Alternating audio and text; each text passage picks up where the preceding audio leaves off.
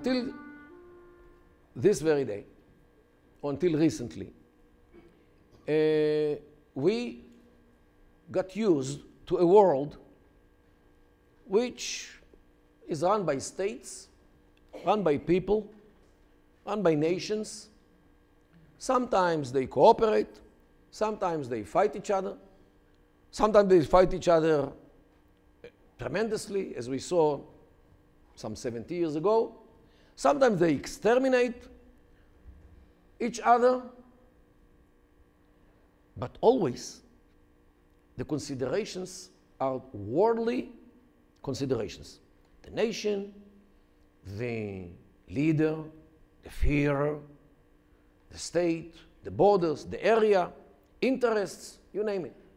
Everything of those are worldly considerations.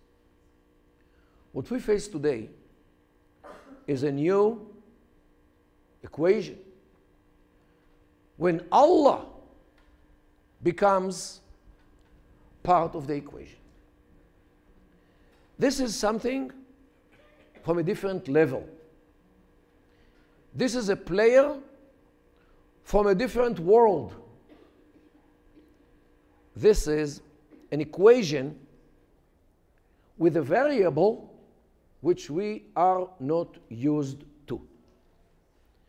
And all the theories which were written about struggles, about states, international relations, tensions, nothing can contain such a new equation with such a new player which was introduced into the world politics in the name of Allah.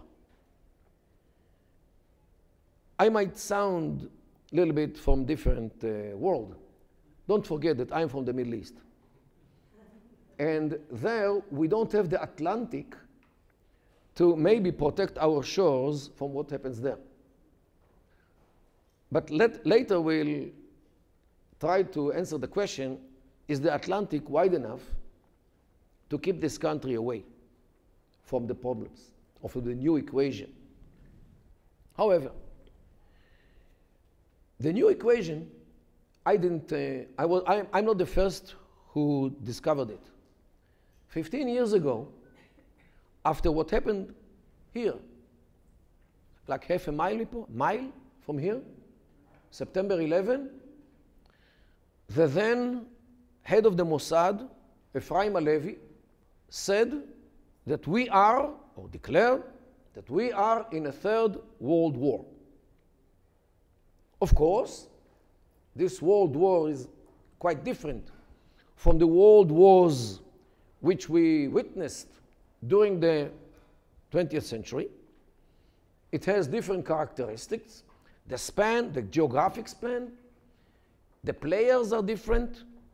Here we are talking about here we are talking about civilians who kill the civilians. Usually wars, soldiers are killing soldiers. Armies fight against armies. Here, the fighter is a civilian, and his casualties and his, his targets are civilians. Not anymore divisions, not anymore tanks, or not anymore um, warships, or all, all these things. Now the war is being done in a total different arena. The streets, the stadiums, nightclubs, workplace, workplace uh, violence, you know. All these places which, since when are they a battlefield? But yes, this is one of the characteristics of the new World War. So first of all, it's different with the players. Now we have Allah, one of the participants in this war. Secondly, the war already, we saw it all the way from San Bernardino, all the way in the west, to the Sydney, Australia in the east. Remember the Lindt uh, restaurant? And in between, Orlando, Boston, uh, Fort Hood, Paris, Paris, Paris, Germany, Germany, Germany, like on, two weeks ago, four terrorist attacks only in Germany in every 48 hours. Some people beheaded, and in Normandy, a bishop beheaded. Okay? So, what we see is not only the players are different, and Allah comes to be part of the equation, even the methods of war, which the world was familiar with, are totally different. I'm not sure that there was even one case in the Second World War where somebody was beheaded deliberately in front of a camera as kind of uh, warfare. And that war definitely was vicious. Inventions of gas chambers, things which only Satan can think about. But beheading in front of a camera, this is something which I think even during the Second World War, we did. Okay, we, we saw uh, um, in the First World War the chemical war. Okay, also vicious thing, but beheading. So uh, this war actually is totally different from what we witnessed, and the longevity of the time. It can take who knows how, how long. And, and the worst thing is that at least one of the sides is very, you know, you, you, you don't know who he is. It's not an army which has a uniform and bases and state and borders. He is everywhere. He is, he could be any man in the street, women also. He could be in your workplace. He could be your uh, subordinate, as happened in France, that one employee beheaded his, his boss. It could be your classmate, as was in Germany. It, it could be anyone. So the, anyone becomes a suspect in this kind of war. How can you identify your enemy? If anyone, and I'm as far as could be from, from saying that everyone is a terrorist. But who is, who is the terrorist? You know, in Israel, we tried to once portray the, the character of a terrorist to find what can characterize a terrorist. And every model which we tried to portray was uh, destroyed by another action, which was uh, perpetrated by somebody who didn't fit the description. So we finally we came to um, uh, uh, the, the bottom line is the terrorist is somebody above the age of 12.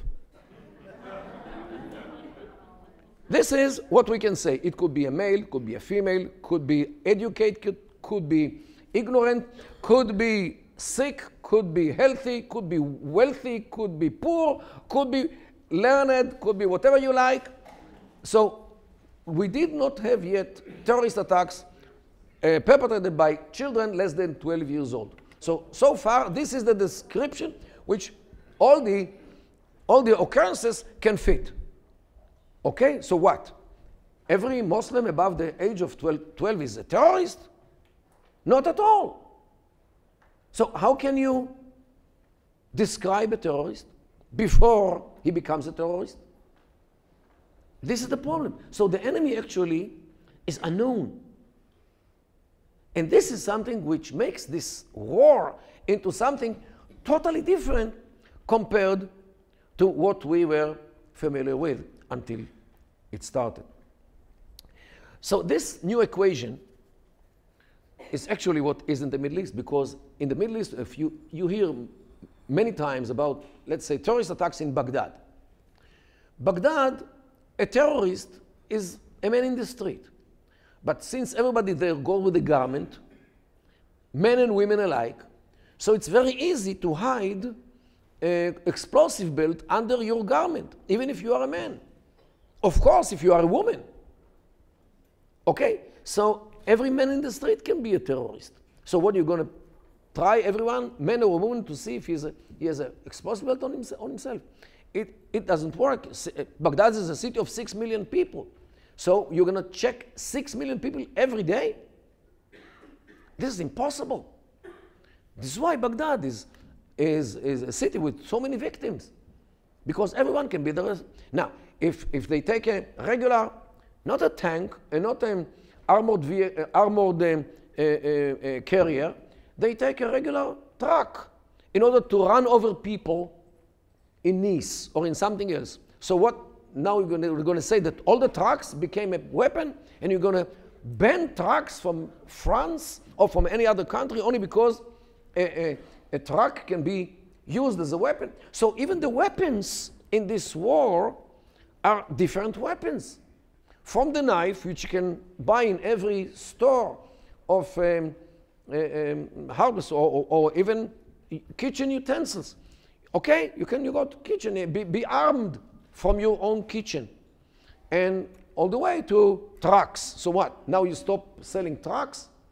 Or the truck dissemination is, there are too many trucks in the streets? Okay, so what will be now? So here, all the characteristics of this war actually turns it into something which is totally different, and things had to be formulated in order to fit it, and about this I will uh, talk later. The question is, uh, what, what created this war? What brought us to this situation?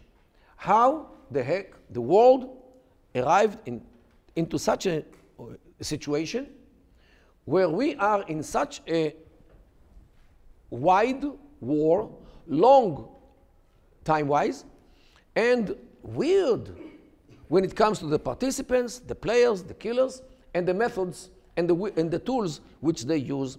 How did we come to this uh, situation? Uh, I'm afraid that I will have to speak until tomorrow, and tomorrow is Shabbat, as you remember, evening, if I go and try to trace the history of the Middle East, which brought the world to this situation. But what I would like to is to concentrate on the last, let's say, 15 years, but I'm not talking about all 15 years, but on with the snapshots, uh, but mainly about the last two or three years, because the acceleration of this world of this war during the last two, three years is tremendous. And I'm not ignoring what happened in September 11. But definitely when you see the sequence of events of the last two, three years, definitely we see here a, a, a curve which goes up in all the statistics. I would like to start with the establishing of Al Qaeda uh, during, the during the 90s as an organization which was designed to, to continue the big success which the jihadists had in Afghanistan against the Soviet Union. As, as, you, as you remember, during the 80s, the Afghans were fighting against the Soviet Union, and thanks to help which they received from inter alia, this country as well, uh, they succeeded to chase out the Soviets, which brought about the demise of the Soviet Union and the creation of those 10 states on the ruins of the Soviet Union. Those jihadists who were local Afghans and foreign volunteers, especially from Saudi Arabia. Uh, and Saudi Arabia actually sent to Afghanistan those days many people who were convicted and sat long periods in the jail, in the Saudi jail. At some moment, when the West, including here, wanted to support the Afghans against the Soviet uh, invasion of Afghanistan, somebody has this brilliant idea to ask the Saudis to, to send their prisoners to Afghanistan to be jihadists with one way ticket.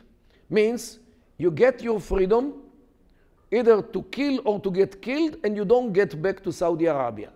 Many took this opportunity, and some superpower took all those to Afghanistan, to Pakistan, and they went to Afghanistan to fight against those uh, uh, Soviets there. So uh, definitely it was a good, good war, and they succeeded. And the volunteers who came from Saudi Arabia and Yemen as well, and some other countries as well, with more or less the same arrangements, definitely succeeded. And after they succeeded to topple the Soviets, and what happened with the Soviets later, that the Soviet Union actually was divided, they felt that they are almost almighty. Why? Because the Almighty is with them. Who else gave them the victory, if not the Almighty Himself, who operated the West in, in a way that the West supported us? Okay, so all the Western support actually came from, from heaven through the West. This is how they saw things. So definitely Allah is the one who gave them the victory. Okay, what are we doing now with all the power which we have and the know how and the experience which we accumulated in the battlefield? Of course, we are going after the other infidels after we succeeded to chase out the Russian or the Soviet infidels. And who, who else are infidels? Europe, America, and others. What's the difference between the Soviets and those? No difference. Those are Christians. Those are Christians. So what's the difference? Okay? So it, the success which the West gave them actually acted against the West. Who thought about this? Who expected it? Who anticipated it? Who talked about this, this uh, possibility that the snake which we actually gave or we uh, uh, brought to the world uh, in, in, in, in Afghanistan will actually run after us after he got rid of the Soviets. But people in some countries in the world see their interests more or less until the edge of their nose. They don't learn what happens beyond the, beyond the, the nose or beyond the hill uh, when they deal with other cultures. They think that everyone wants to be like us and thinks like us. And since we gave him what we gave, he will be our friend. Okay? For this, you need languages and you need to learn cultures, especially the cultures of the Middle East. So, being so confident about their success, they continued. And then we had the, the Cole, the destroyer Cole, uh, in the end of the, of the 80s, and the two em embassies of the United States in Dar es Salaam, Tanzania, and in Nairobi, Kenya, which cost the lives of almost 300 people in one day. And uh, what was the price which they, which they paid? Some tomahawks which were flown to Sudan in order to kill some cows or some people in, in uh, one of the camps of Al Qaeda. Okay, this was the price which they paid for uh, what they did. Means they understood that the West is weak. Nobody, and there was all the intelligence, all the information which was needed was there about Al Qaeda, about its uh, uh, bases, about its centers, about everything. And I know because I was in the intelligence, and I know, I know what was known. And states cooperated those days very well on these things and uh, exchanged uh, knowledge and know-how and, of course, information. Um, and then um, they, during the 90s, they moved everything which they had to Afghanistan, especially from Sudan, and they actually took the state under their auspice with the money. And bin Laden actually uh, took Afghanistan as some kind of a hub for his activities. He uh, established in, in uh, Afghanistan hundreds of facilities, bases, uh, training facilities, even prisons, madrasas, means uh, schools, libraries, mosques, whatever they wanted, they did in Afghanistan, as if it was their own country. Of course, they had the Mullah Omar who, who ran the country, but uh, Al Qaeda was there. And uh, they uh, prepared the big hit, which came at September 11, 2001. This apparently was too much for the stomach of this of United States of America. And as George W. Bush uh, said, we are on a crusade. Uh, of course, this uh, expression was interpreted wrongly in the Middle East, as if we are again in a crusade, and we'll meet this term later. And uh, his advisors advised not to repeat this word particularly because it immediately reminds the people in the Middle East about the crusade, crusades of the 10th century and 11th and 12th century. You know, uh, Richard uh, Lionheart and all those who occupied Palestine and other parts of the Middle East, and Jerusalem, of course. So uh, uh it immediately connected what happened, what happens today with what happened almost thousand years ago. So his advisors uh, told him not to repeat this word. You can talk, talk about war, it's okay, but not about crusade. Good. So America went with its friends and allies in order to get rid of Al Qaeda, really in uh, in uh, Afghanistan, and the success was very good. Less than three weeks, and the whole country was occupied. All these bases, facilities were destroyed. Um, all the members of Al Qaeda, especially the volunteers who came from other countries, which are much easier to identify, um, were either killed or taken to Guantanamo Bay or dispersed all over the world. Ran away. Those who ran away actually started a, a franchise of Al Qaeda in many, in many other places. Uh, Al Qaeda uh, became an, an idea rather than organization because it was destroyed in Afghanistan.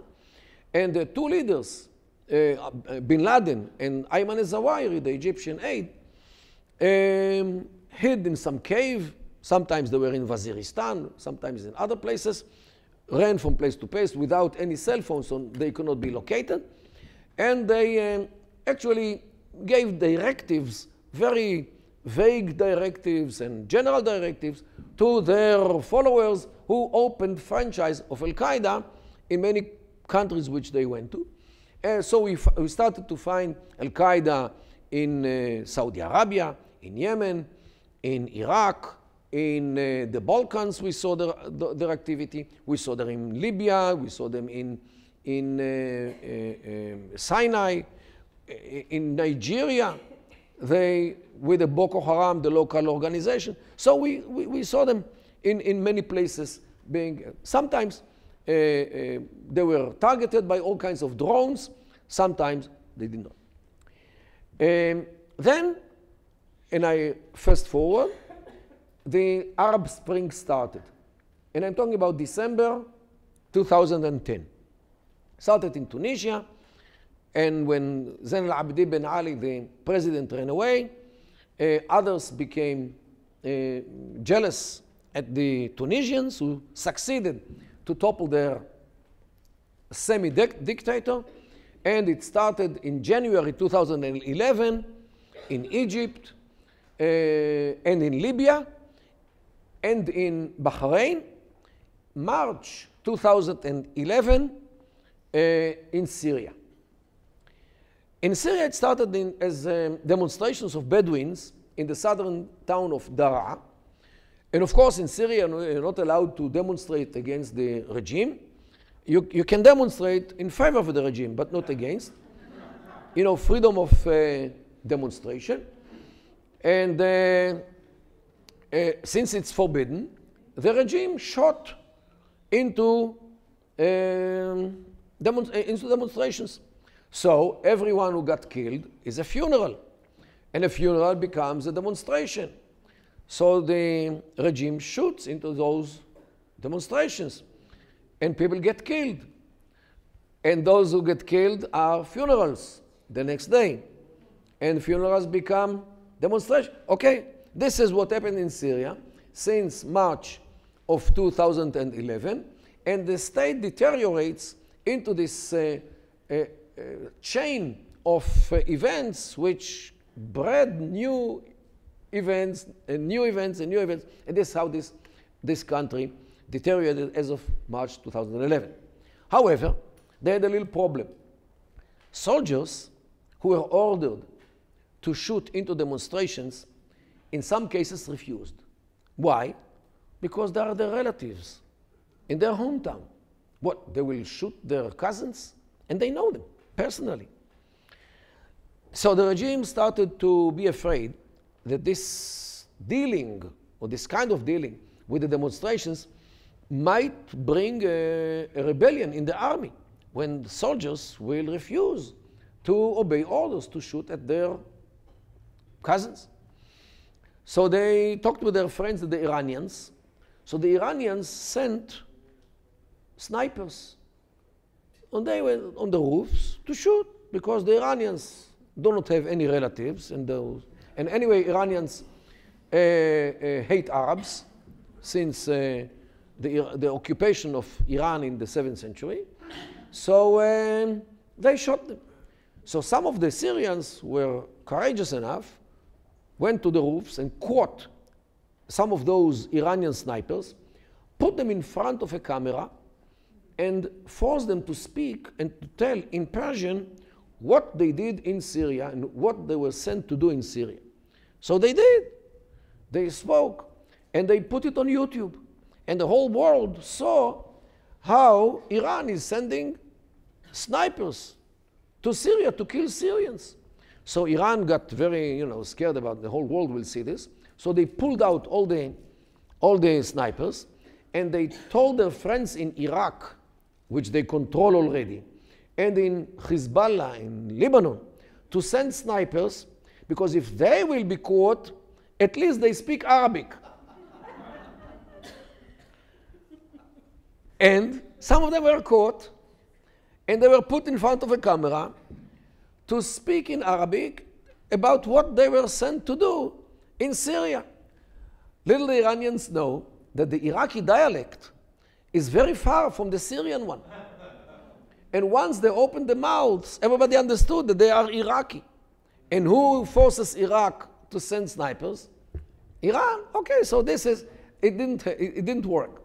With the Hezbollah, the, the Lebanese uh, dialect is closer to the Syrian, but yet it is different. And every Arab who hears Lebanese knows that this one is Lebanese and not Syrian. So it didn't work. And everybody knew that Iran slash Iraq slash Hezbollah are sending snipers in order to kill the Syrians. Go back to Iraq. In 2004, seven years earlier, the Al Qaeda of Iraq started to function after the invasion of 2003,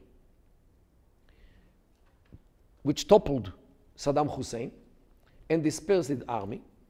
And Al Qaeda was there in order to absorb all those Sunni soldiers who were very angry at uh, the Americans and their friends and allies who uh, destroyed the Sunni state of Iraq and they joined Al Qaeda, not because they were religious.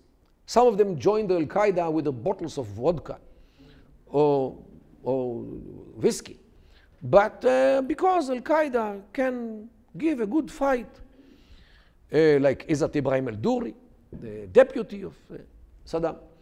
And they joined with all the experience and all the knowledge about how to run a, a, a, an army and how to fight.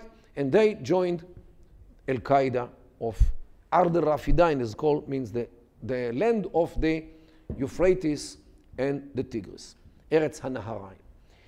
And they started this insurgency against both the Americans, the British, and their friends and allies, and against the Shia who received the power from the occupiers of Iraq of 2003. Um, the founder of Al Qaeda in Iraq was a guy named Abu Mus'ab al Zarqawi, who originally came from Jordan, Zarqa in Jordan. And he is famous in our uh, chronicles as the one who beheaded in front of a camera uh, the Jewish journalist, Daniel Pearl. So this is the man.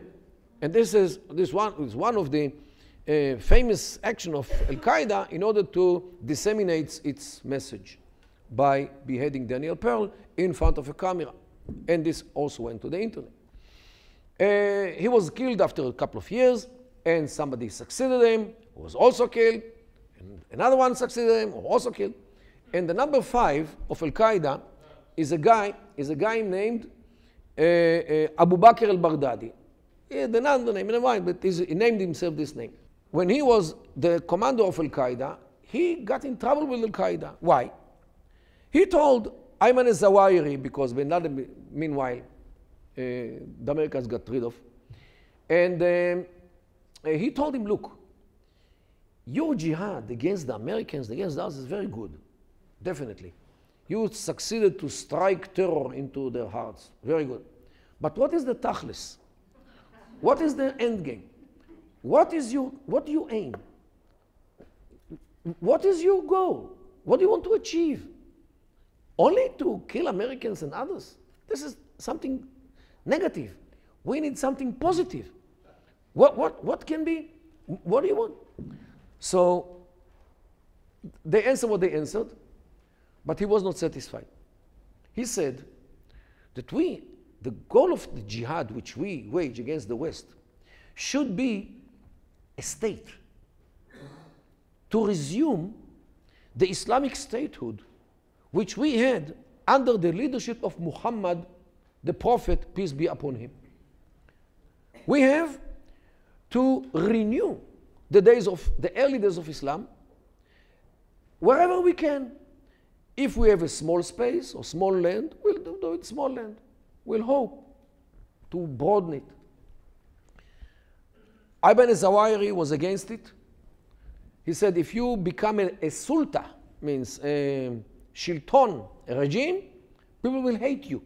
As long as you fight against the West, people love you because everybody hates America. But if you become a regime which imposes law and order, taxes, and so forth, who will love you? Everybody will hate you.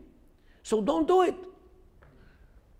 He, the Baghdadi says, no, I'm going to do it because this is the tachlis. This is what I should do. He left Al Qaeda and established in Iraq an organization named ISI, Islamic State of Iraq because that's where he was. Because it was before the Arab Spring started. Then come the Arab Spring and the snipers and the clips on the internet, how the Iranians and the Iraqis and the Hezbollah, all Shia, are murdering Sunnah in, this, in the street. And he sees all these clips and he says, hey, wow, can, can I let this kind of war in Syria happen. Our Sunni brethren are being slaughtered, are being killed by snipers in, in, in Syria. How can we sit here and do nothing? And he starts to send his snipers to kill the Shia snipers on the roofs of Syria. And it starts to, be, be, to become a war of snipers at the beginning. Then he, with the years, he accumulated more experience in other things explosives, bombs, cars, who blow up in the middle of wherever they want. So he has all this knowledge. So he started to send these as well. In August of 2012, they did something tremendous. They put some half a ton of explosives on the roof of a room where the leading uh, group of the, uh, of the Syrians were having meetings. Uh, it was Asaf Shaukat, the brother-in-law of Bashar Assad, and he's the chief of staff and the chief of the, of the police and the chief of the, of the mukhabarat, means the intelligence, and they were gathering there once a week in order to decide what to do. So what they did, this ISI, they put this half a ton of explosives on the roof and like in a distance of like four or 500 meters, they took a camera, video camera, on a tripod, and they told the guys near the explosives, okay, we are ready. They started filming, and the other, guy, the other guys blew this charge. Of course, half a ton of explosives on a roof. The roof falls on the people inside. They get, they get all killed. Now, they put this clip on the YouTube as well to show, now, and this time already with their logo, the Islamic uh, organization of the, the, ISI, and with uh, music or Islamic music behind it. And actually, they showed the other Muslims that the war in Syria now becomes a religious war. Why? Because not only Syrian rebels, Christians, Muslims, Druze, Alawis, and many others. It is Muslims in the name of Islam who are coming now from the Islamic State of Iraq in order to do what should be done to the Syrian regime, and they disseminate this again, all the uh, uh, information about the Syrian regime, which is Alawis, who are not even Muslims, who are idol worshippers, and, um, and, and, and, and, this whole thing about uh, the Alawis who, who, who govern Syria as idol worshippers who deserve uh, death only because they are idol worshippers become part of the common knowledge in the Arab world. People didn't know it before. Before it, it was an information which, okay, those who um, uh, know about, uh, you know, uh, the secrets of the Middle East knew it, but uh, uh, it was something which was unknown in the Middle East that Alawis are not Muslims. Until this very day, there are some people who do not know it. So uh, and, and, the war in Syria becomes more and more Islamic. And uh, of course, he invites all kinds of um, uh, volunteers from all over the world in order to take part in this. And at, this, at some point, he decides that his participation in Syria is so deep that now he, his name is not anymore the Islamic State of Iraq, but it is Islamic State of Iraq and Syria. And this is ISIS.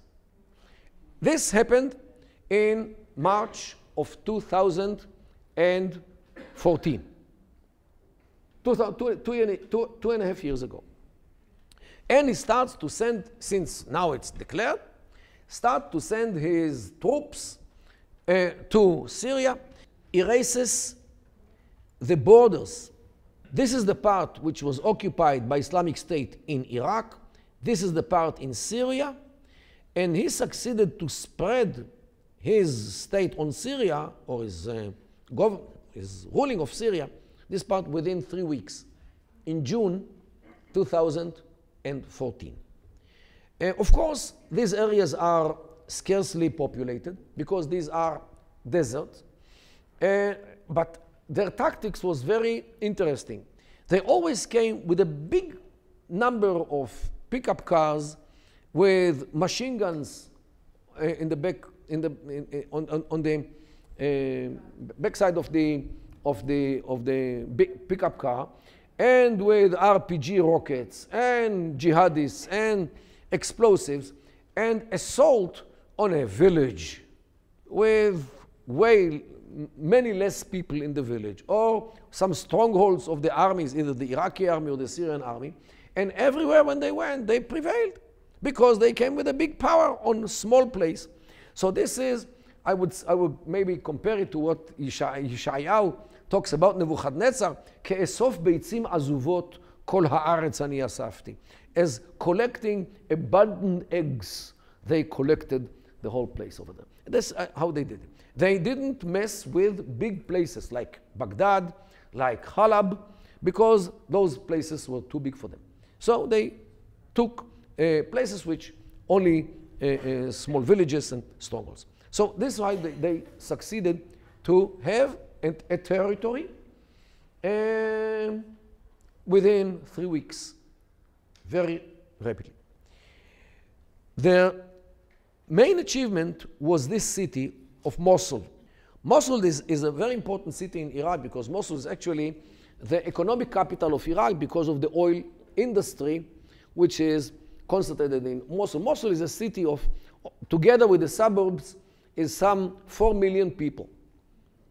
Very big, very big city uh, with many factories. And everyone who knows something about urban warfare knows that such a city with 4 million people, uh, in order to occupy, we need something between two and four years because you fight actually from room to a room, from apartment to apartment, from house to house. Just like as Gaddafi said, we'll fight you dar dar, bet bet, zenga zenga. Means uh, apartment apartment, house house, uh, street after street. And this is actually how you fight urban warfare. And the enemy is behind every door. It could be in the kitchen closet. It could be in the dining room closet. It could be in the, in, in the bedroom. It could be under the bed. It could be in the attic. Could be in, this, in the cellar. Could be everywhere. And, you know, it's very, sometimes you fight with somebody, you don't know what to do, to, to slam him in the face or to shoot him because he's so close to you. This is urban warfare.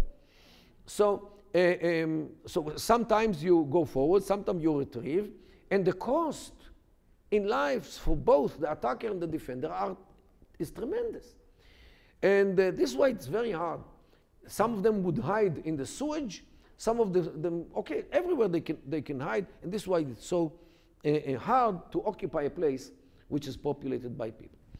This is why it, it should have taken um, something between two and four years in order to occupy a big city like, like uh, Mosul. However, they succeeded to occupy this city within one single day. The officers of the Iraqi army ran away in the morning. The soldiers found out towards the noon that the officers ran away, so they ran away the, at noon.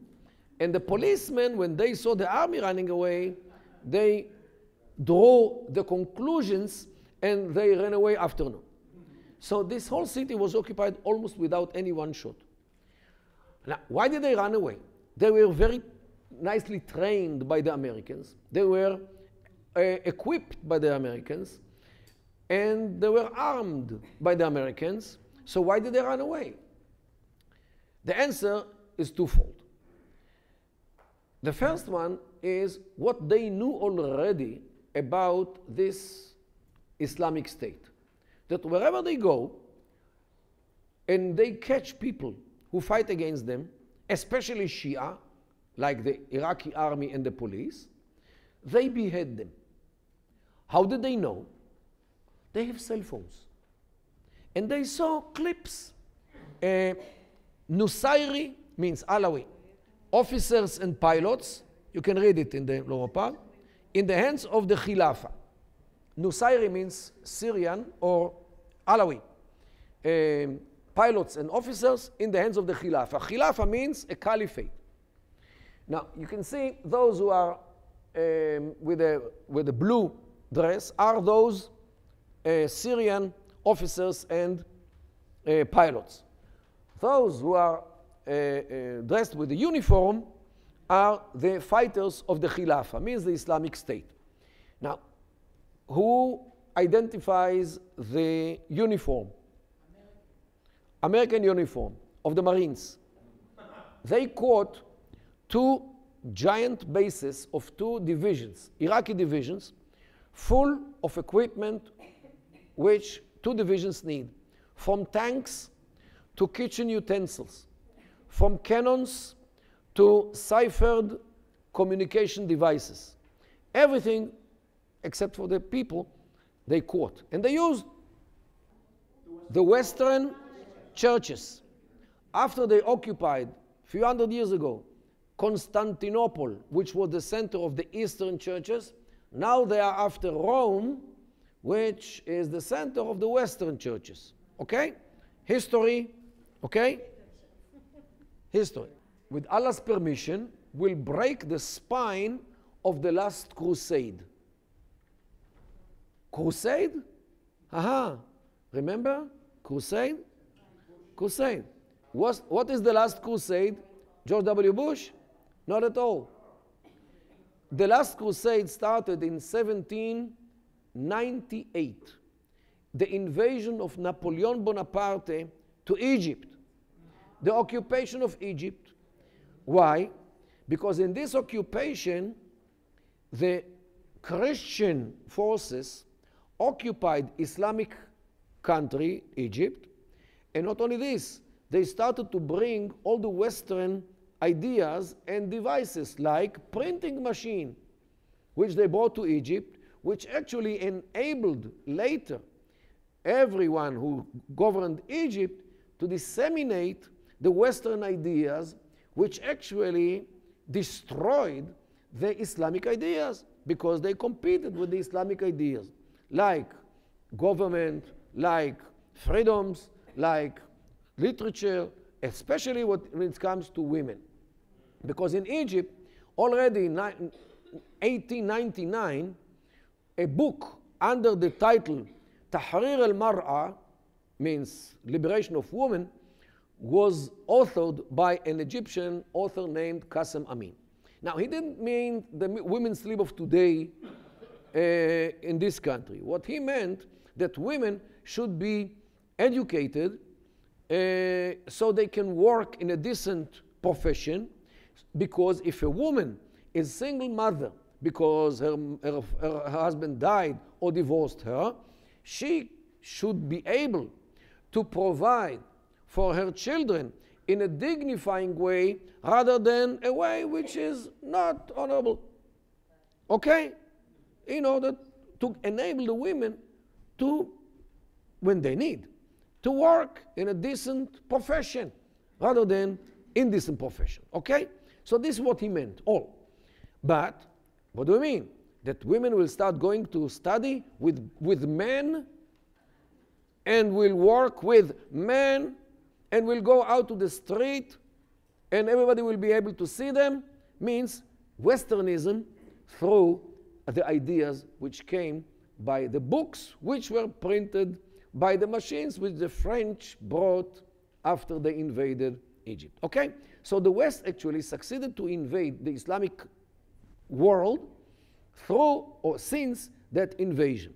Later came ideas like that women can go in the street without a hair veil, which started in Egypt in 1923 when Safia Zaghlul, the wife of the later Prime Minister Saad Zaghlul, uh, started to walk in the streets without a hair veil.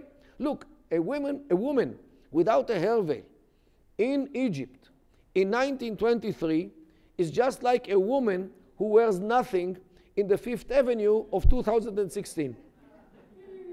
The same thing. The same thing. So, who enabled this? The West, because in those days the British already were governing uh, uh, Egypt. So the West actually introduced all these uh, uh, strange ideas, especially when it comes to women, into our societies in order to destroy our societies. Later came the newspapers, which disseminated ideas to where, wherever they came. Then radio stations in the 30s, 40s. Then came the TV in the 60s, 70s. Then came the color TV during the 80s.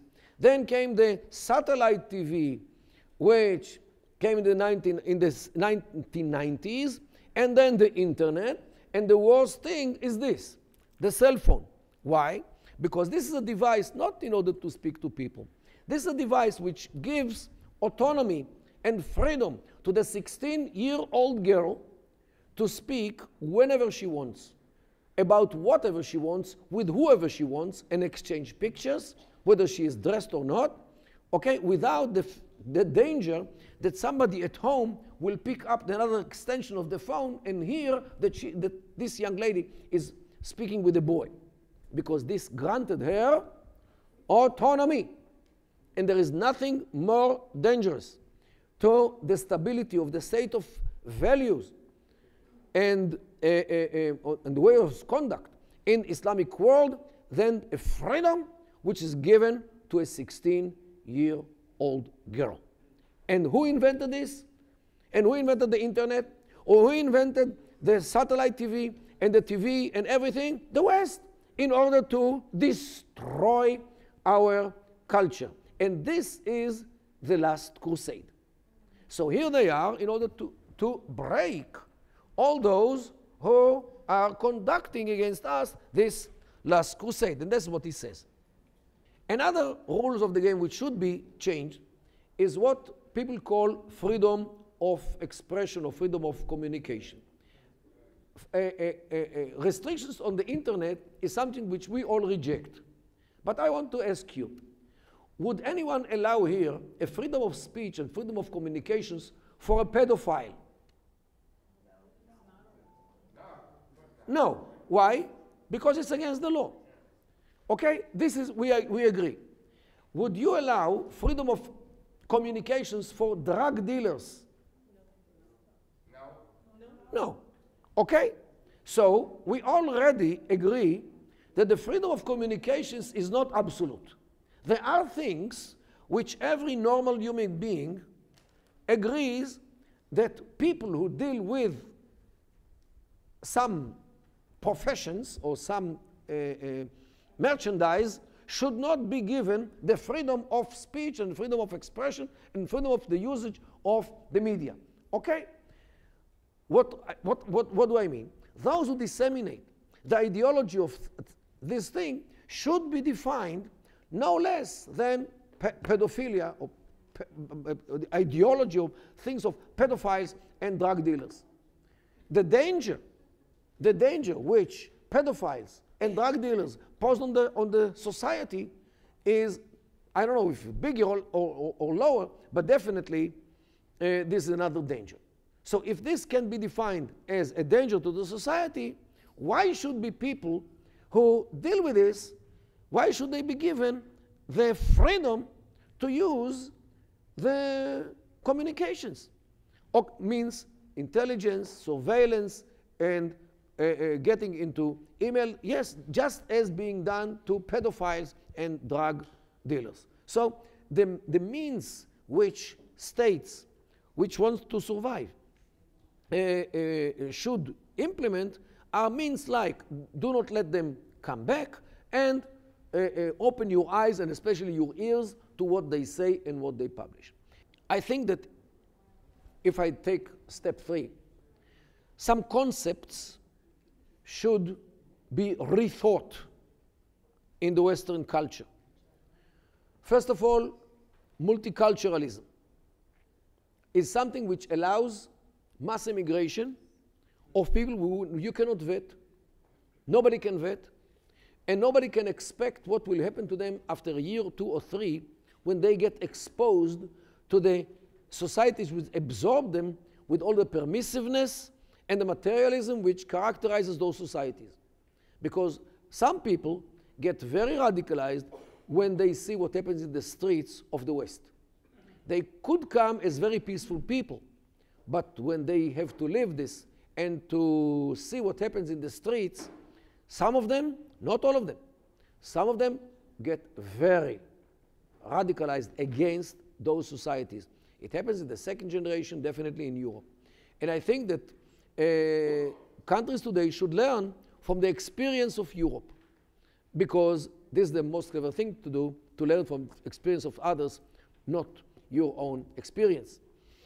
Um, multiculturalism should be rethought and political correctness as well. Because political correctness actually shuts the mouths of people like Efraim Halevy 15 years ago and myself today, those who try to be a whistleblowers or those who ring the bell in order to wake up the people to see the reality, the war which is waged against, not against our states, against our civilization. Because this is exactly what they hate, and this is exactly what they want to topple. And the sooner we get up, the sooner we wake up, the better it is for us. Thank you very much.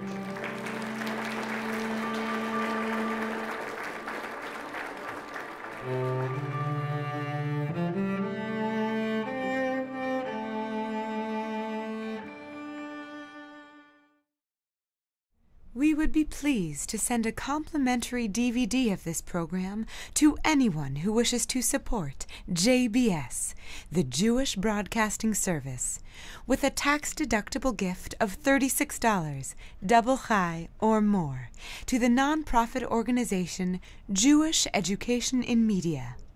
Simply visit the JBS homepage and click on the donate button to make a donation by PayPal or your credit card. And please indicate the program for which you would like a DVD. Or you can send your tax deductible check made out to Jem to Jem, Post Office Box 180, Riverdale Station, Bronx, New York 10471. And again, please remember to indicate which program you would like to receive with our compliments. And we thank you for your kind support.